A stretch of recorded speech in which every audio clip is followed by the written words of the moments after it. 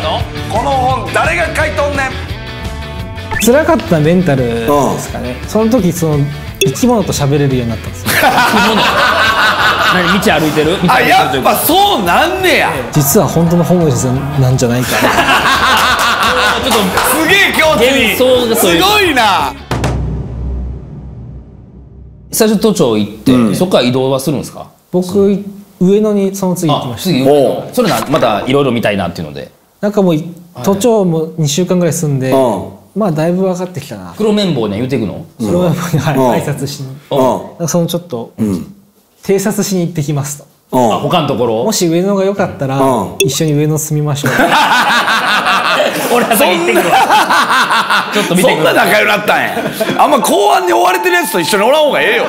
ほん。で上野行って、うどうでしたそこは？いやひどかったっすね。夜だけ寝れるんですよ。あ上野公園は。公園とか上野の駅前とか。都庁の場合は一日中布団敷けたんですけどあっちになるとそれができなくて。はあはあはあ朝何時に出ていかなあかんとかあるんですか？朝5時です。いやええあだから始発が始まったらそれ駅に起こされるんですか、はいうわすごいね。まあ、起きないと周りのホームレスには怒られる。あー秩序があんねや怒られへんなるやんけが。そこにちゃん。とお前が守んないせいで俺たちが住めなくなるぞ。ああほんならみんな5時に起きんねや。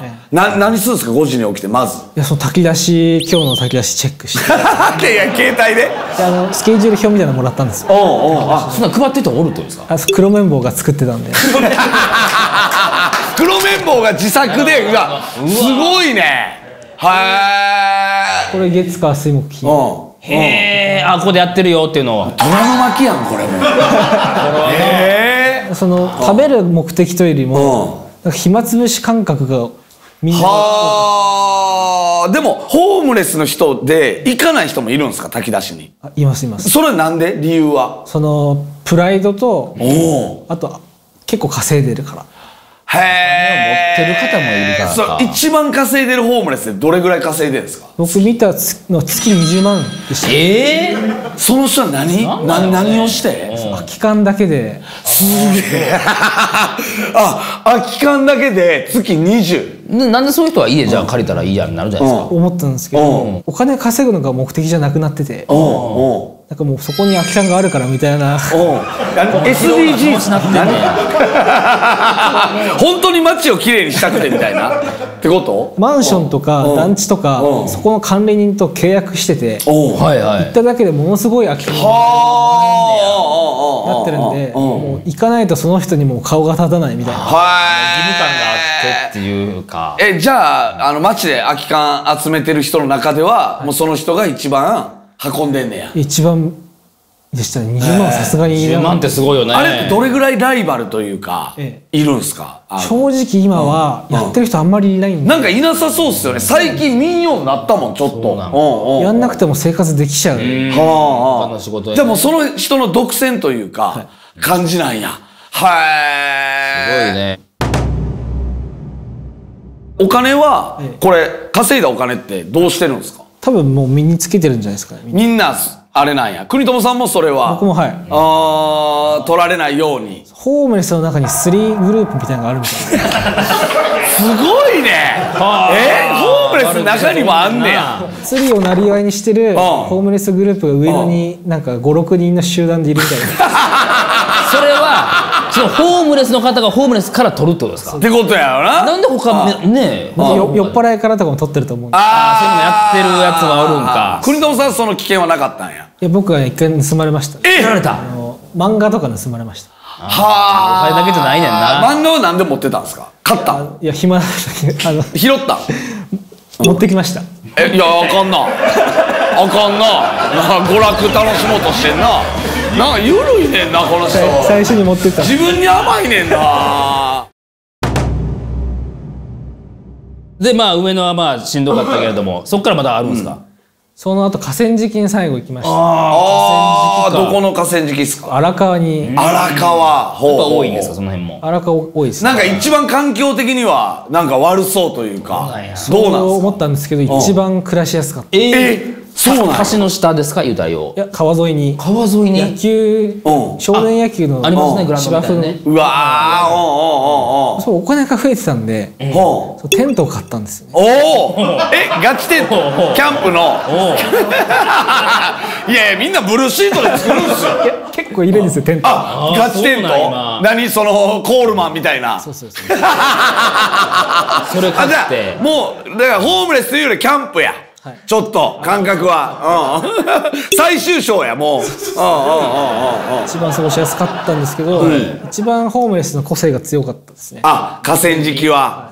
い。ろんなところを経てくるやつらの最終なんですか、河川敷は。路上ってやっぱ集団生活なんでちおょっと浮くやつ浮くんですよ、ほうほうほうほうほう、そういう人たちが河川敷に最後たどり着いて。そうか。えー、だから路上ので秩序を、集落で秩序守れなかった奴らが、最後河川敷に来んねや。あるんやな。そんな社会やな。なんかその漫画で「荒川アンダーザブリッジ」ってある、はいはいはいはい。えドラマにもなってる、はいはいはい。カッパの格好をした人が出てる、か星のうん。かぶった人、はいはいはいはい。まさにあんな感じです。あれはじゃあそれモチーフにされてるみたいな。そう思います。うん。へでもそういう人らでも要はあのドラマとかであのほんまはお金持ちやのに、そのそのホームレスになりきってやってる人とかは、そんなん分からない肌から見てても。いやあの金持ってる人は結構なんか、札束見せてーえー、おうおうおるんやそんな人は。マウント取ってくる感じはい。あ、そんなやつもおんねや。雨の日はサウナおおう晴れの日は外みたいな、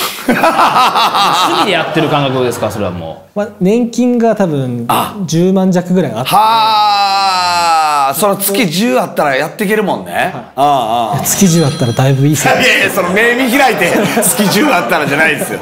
えこれ河川敷はやっぱそういう社会はあんまないんですか？その秩序というか。ないですね。あんまり近所付き合いもないですし。ああああああ近所付き合い。もないんや。じゃあ河川敷で仲良くなった人はいないんや。隣に一人。うんお隣さんで。どういう人やったんですか？それは。なんかまあその人はかわいそうでしたね。なあえーどういうあれ奥さん亡くしてん働く気力なくなってここにたどり着いたみたいな。はあすごい。そのその人は何？仕事とかもするんですか？いやしてなかったです。年金です。